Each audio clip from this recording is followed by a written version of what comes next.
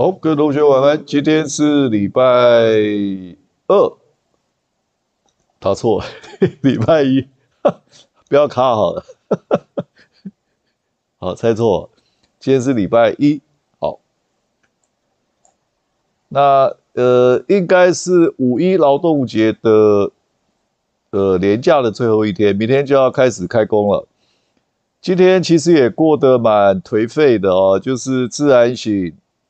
然后呢，昨天晚上看电视看到自然睡，然后不要看时间就自然醒，醒了之后呢就东摸西摸洗洗衣服，然后呢煮煮防疫餐。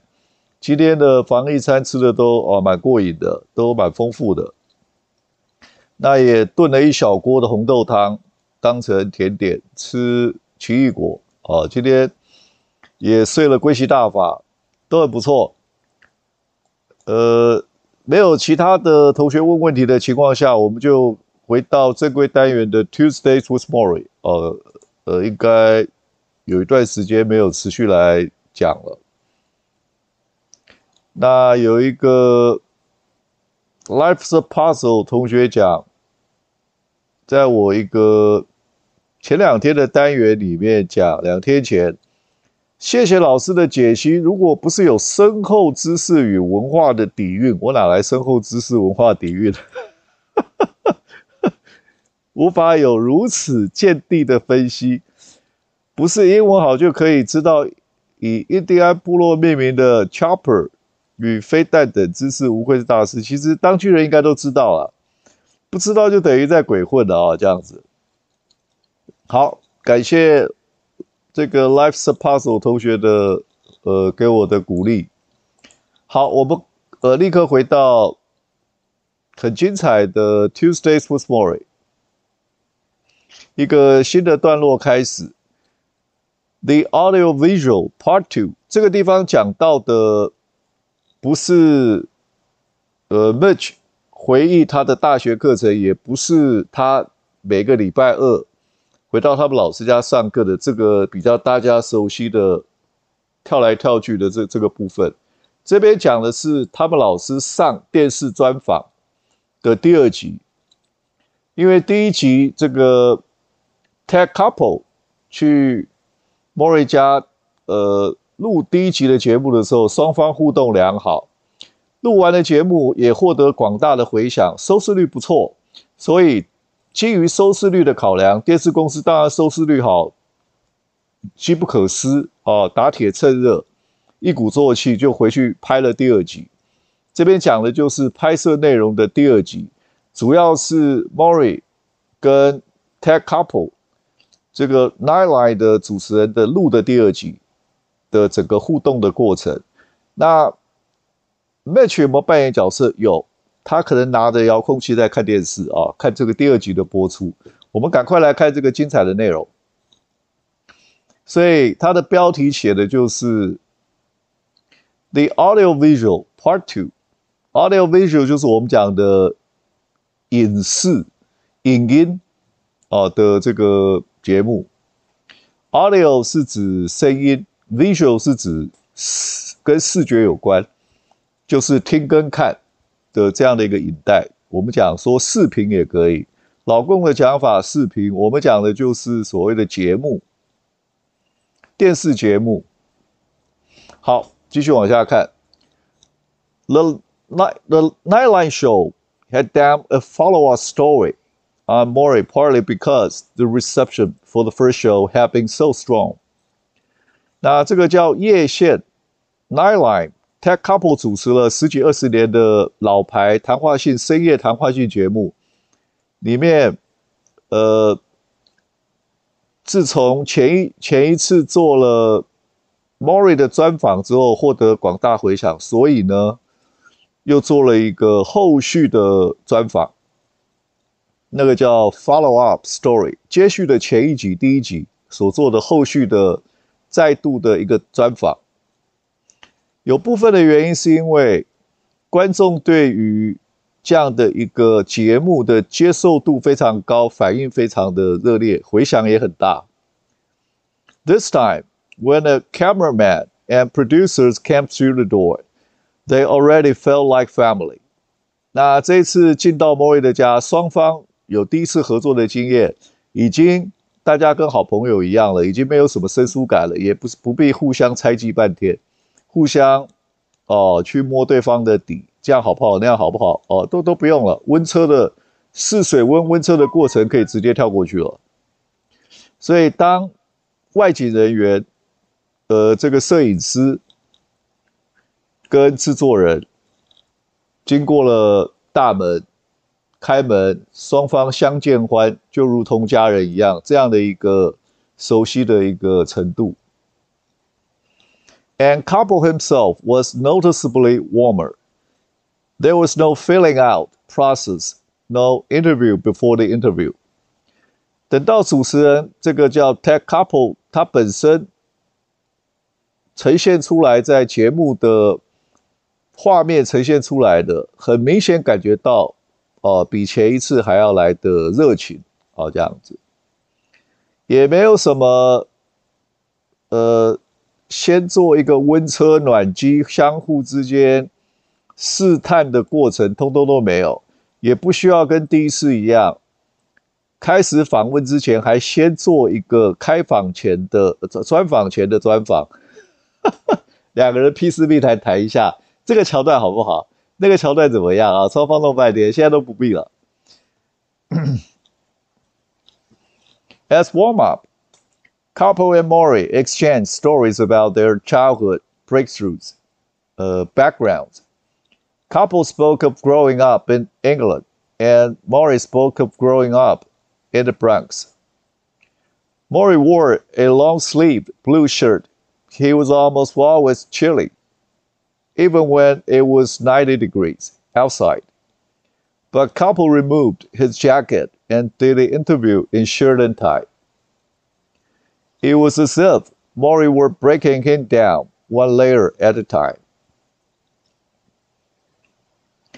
那双方是不是还是要稍微暖场一下？还是要暖场，但不不需要试探对方。暖场纯粹就是呃，让双方之间的这个话匣子打开，能够比较不会那么卡。所以在暖场的时候呢，Couple 就跟 Mori 交换了自己从小成长背景的故事，谈一谈自己的成长背景等等。Couple 就讲他在英格兰长大的事情，Mori 就哦讲他的在 Bronx 应该是纽约的 Bronx 这个区。长大的故事，或是成长背景，双方做一个聊天的暖场。那 Mori 穿了长袖的蓝色的衬衫，为什么？因为病人他总是几乎感到很冷，不管天气多热，他就是感觉冷。所以前面时常讲到，他坐在轮椅上还盖着毛毯。现在已经到了这种夏天九十度的这种高温了，他还包得紧紧的，穿着长袖啊，这样子。所以，即便外面高温达到九十度，呃，华氏九十度，还是一样穿着长袖的衬衫。那华氏九十度，我想应该我不会换算了。大家同学啊，换算一下，应该知道说大概就是三十几度，我在猜，蛮热的。我们的一般的摄氏三十几度，呃，couple 就受不了了，他就把太热了，屋子里面太热了，就把他的西装外套脱掉，然后呢，穿着衬衫打的领带来做专访。这个画面看起来就好像 Mori。呃，用看谁比较耐热的方式击败了呃这个 couple，为什么？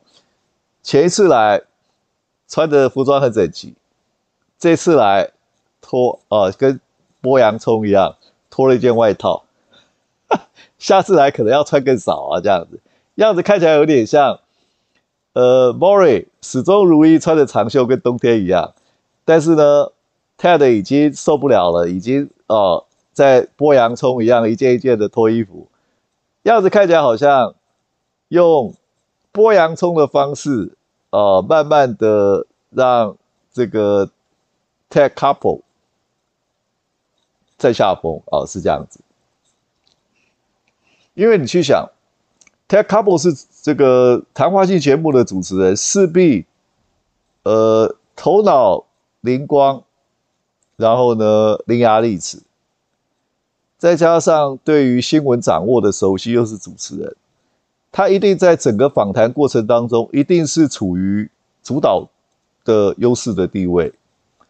那被访问的 Mori 是一个病人，而且呢是垂死的病人，他唯一能够只能接招，他没办法很难出招，处于劣势状态，他只有靠。哦，我穿的，就是从头到尾就穿那么厚的衣服，长袖。你受不了了，你要脱衣服，代表说，哎，我好像就用这个方式，剥洋葱的方式，让你一层一层的，慢慢的哦，开始，呃，卸除掉你的，不是心防，是从外观上来看，我好像哦，让你屈服了，类似那个意思。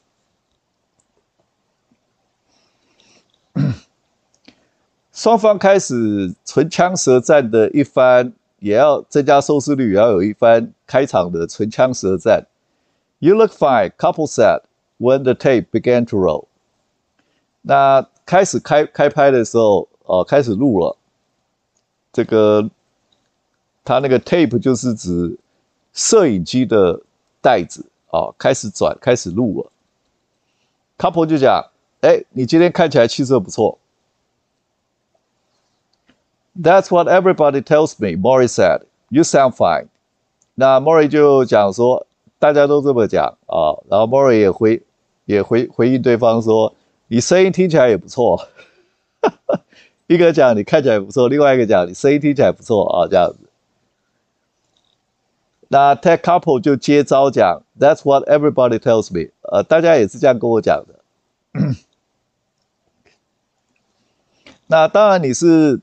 谈话性节目的主持人声音要有一些特色，呃，观众听起来比较有呃兴趣，有意愿会再看第二集，再继续持续的支持这个节目啊，一定有他个人的特色，声音也是一种。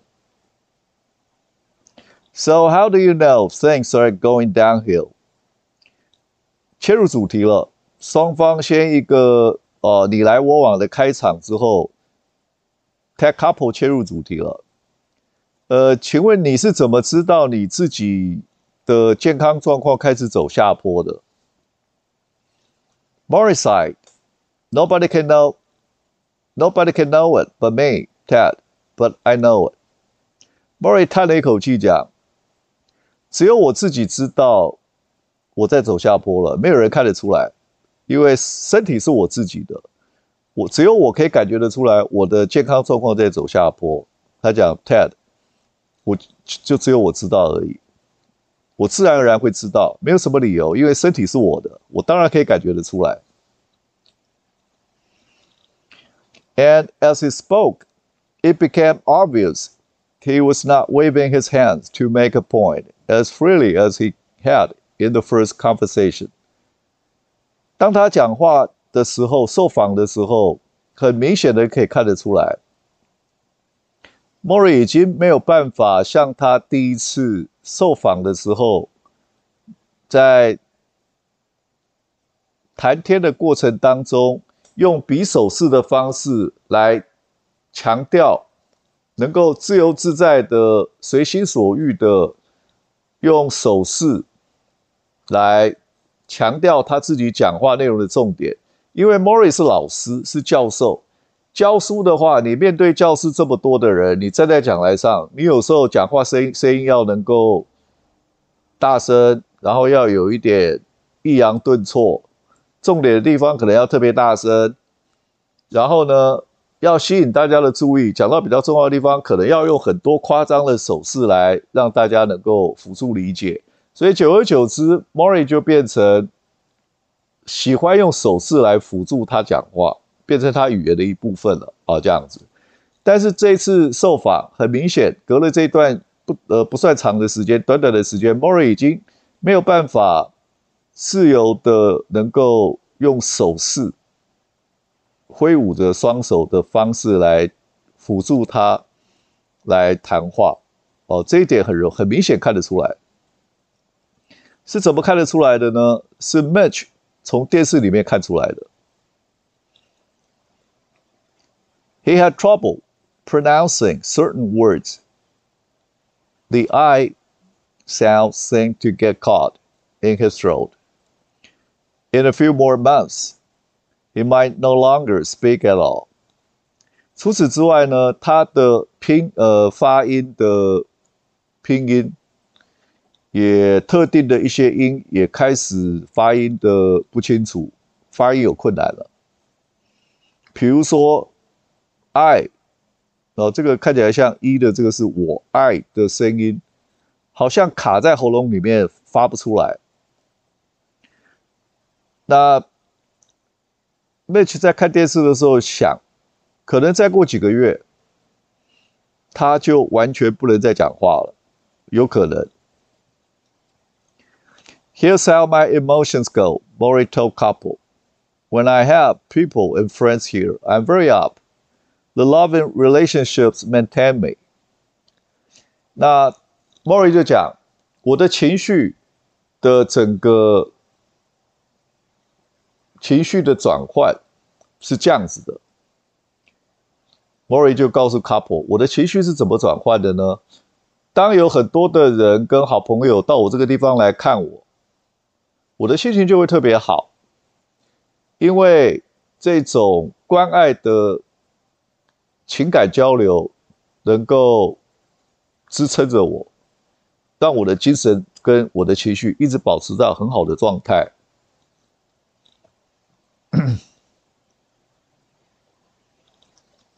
But there are days when I'm depressed.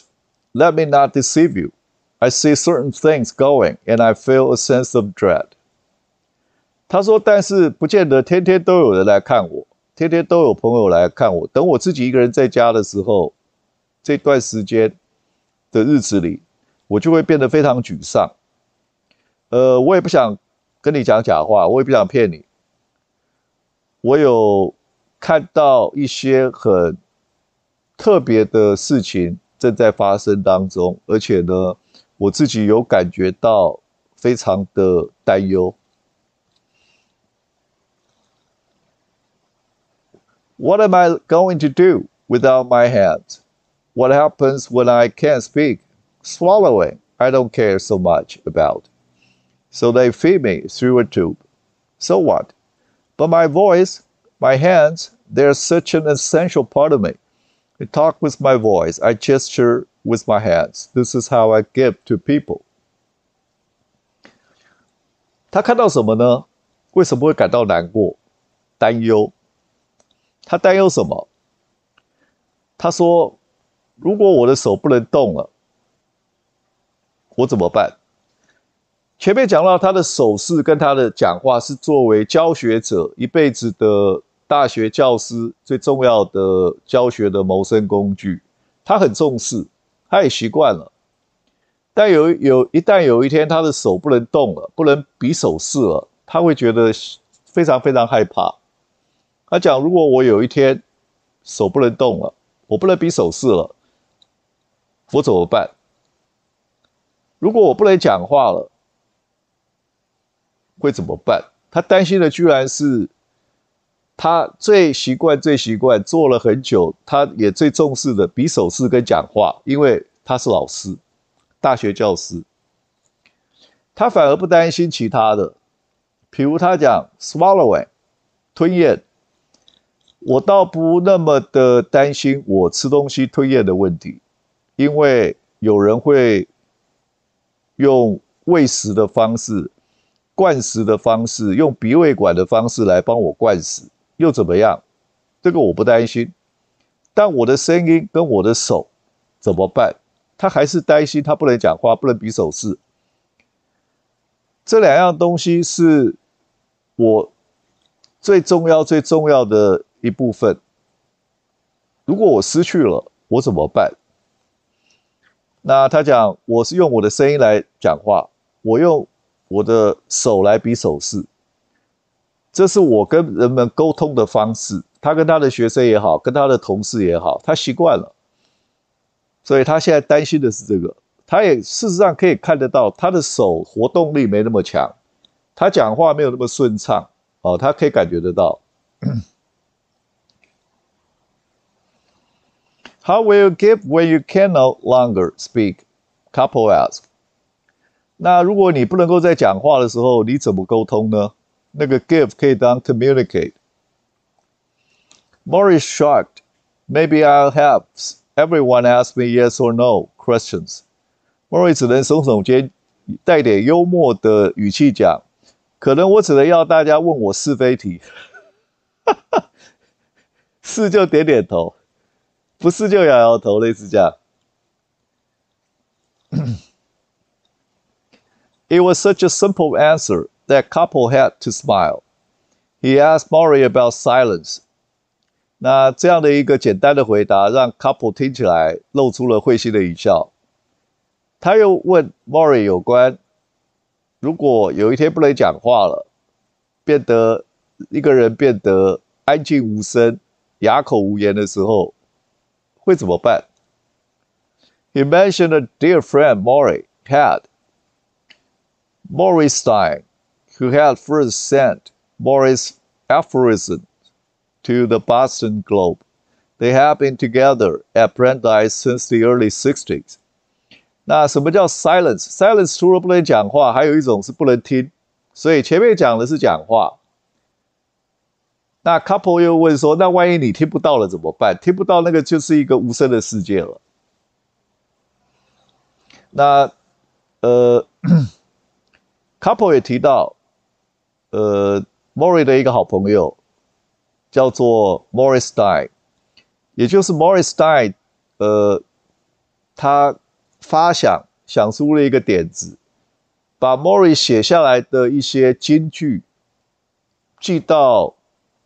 波士顿环球报去，让大家才注意到，包含 Nightline 也注意到，原来还有这样的一个教授，Brandeis University 的教授，呃，已经得了这种渐冻症，还在写一些京剧，发人深省的京剧，才会来专访。那这个叫 Morris Stein 的人，就是耳朵听不到。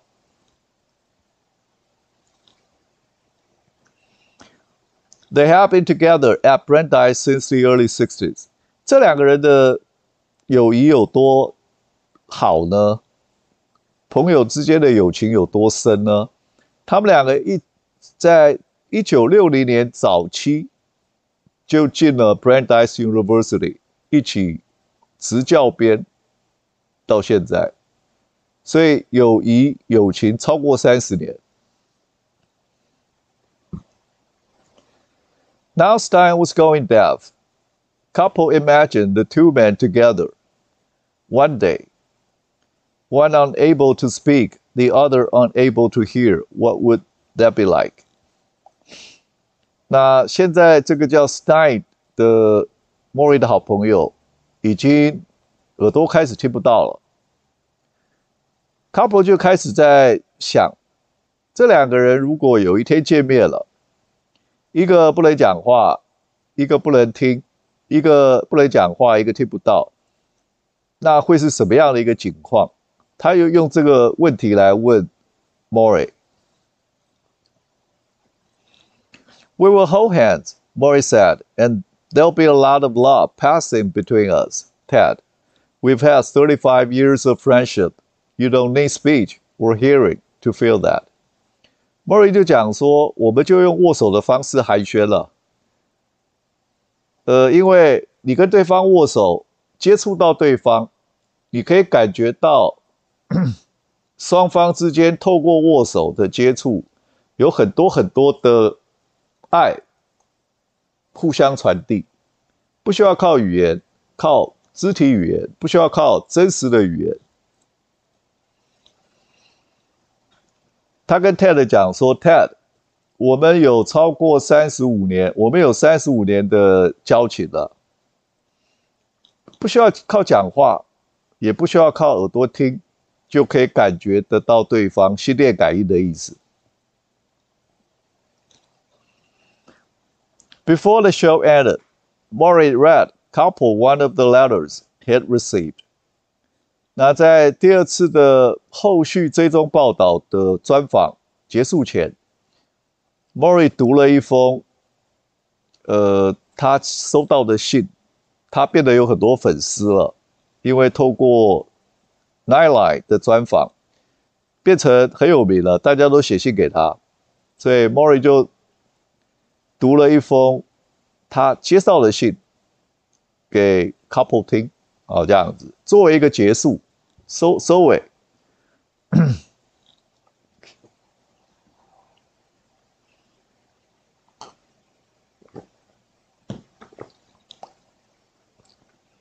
Since the first Lifeline program, there have been a great deal of mail.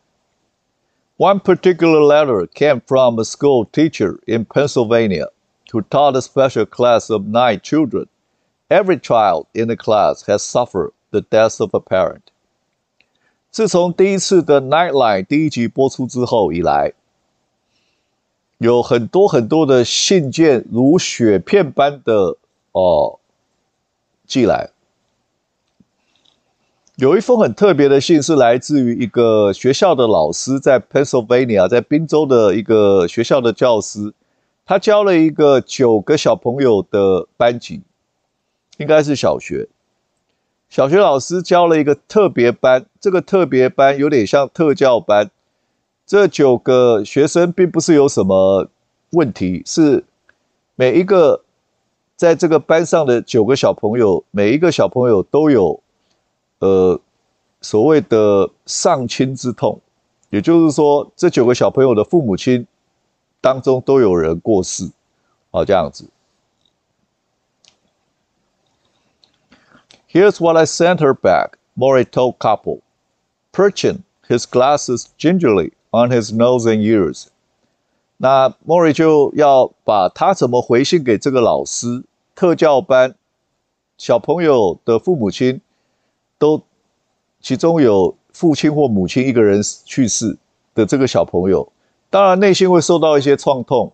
这个老师是专门教这种心里面有创痛的 丧亲之痛的小朋友的这个特教老师，他就跟特别挑了这封回信跟 Ted Couple 讲说，呃，我把我回回给他的信念给你听啊，顺便放送出去给大家知道。讲完之后呢，就把他的眼镜小心翼翼的放在鼻鼻梁上，挂在耳朵上放好。啊，看着他写的回信，来开始 读信。Dear Barbara, I was very moved by your letter. I feel the work you have done with the children who have lost a parent is very important. I also lost a parent at an early age. 他就开始念了，他讲：“Barbara 你好，这个 Dear Barbara，你当然可以翻成亲爱的 Barbara， 你也可以翻成 Barbara 你好，反正它是一个提称语哦，一定会用 Dear，本身没有什么意思，问候的写信的问候语。呃，对于你的来信，我读了之后非常感动，我感觉到 你对这些。”呃，失去亲人的、失去父母亲的小朋友所做的一切，非常非常的重要。我也在很小很小的时候失去了我的双亲之一，所以他这边讲的是失去父母亲当中的一个，不见得是父亲或是母亲。但不是两个都去世，是其中一个。好，我们就念到这个地方，看一下时间，二十九分钟差不多，朗读一下，今天就大功告成。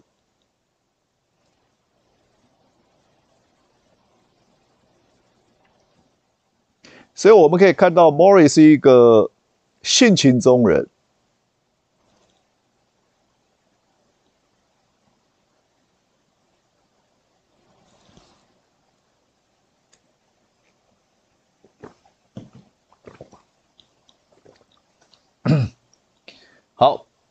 就开始朗读一下。The audiovisual part two. The Nightline show had done a follow-up story on Maury partly because the reception for the first show had been so strong. This time, when the cameraman and producers came through the door, they already felt like family, and Couple himself was noticeably warmer. There was no filling out process, no interview before the interview. As warm up, Couple and Mori exchanged stories about their ch- childhood backgrounds couple spoke of growing up in England, and Mori spoke of growing up in the Bronx. Mori wore a long sleeved blue shirt. He was almost always chilly, even when it was 90 degrees outside. But couple removed his jacket and did the interview in shirt and tie. It was as if Maury were breaking him down one layer at a time. You look fine, couple said when the tape began to roll. That's what everybody tells me. Morris said, You sound fine. That's what everybody tells me. So how do you know things are going downhill? Morris sighed, Nobody can know it but me, Ted, but I know it. And as he spoke, it became obvious he was not waving his hands to make a point as freely as he had in their first conversation. He had trouble pronouncing certain words the I sound seemed to get caught in his throat. In a few more months, he might no longer speak at all. 好，我这个地方我也做另外一个解签，就是说那个 L 有可能是 L，因为 in 的关系转档有点，有可能是那个 L 的声音它没办法发， 也可能是讲爱爱爱的时候那个声音感觉好像被卡住。Here's how my emotion goes. Morito couple. When I have people and friends here, I'm very up. The loving relationship maintain me. But there are days when I'm depressed. That may not deceive you. I see things, I see certain things going, and I feel a sense of dread. What am I going to do without my hands? What happens when I can't speak? Swallowing, I don't care so much about. So they feed me through a tube. So what? But my voice, my hands, they're such an essential part of me. I talk with my voice. I gesture with my hands. This is how I give to people.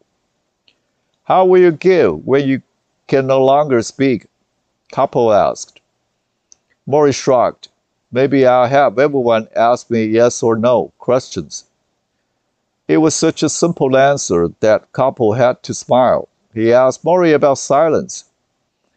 He mentioned a dear friend Maury had, Maury Stein, who had first sent Maury's aphorism to the Boston Globe.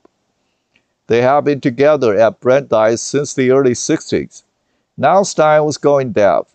Couple imagined the two men together one day one unable to speak, the other unable to hear. What would that be like?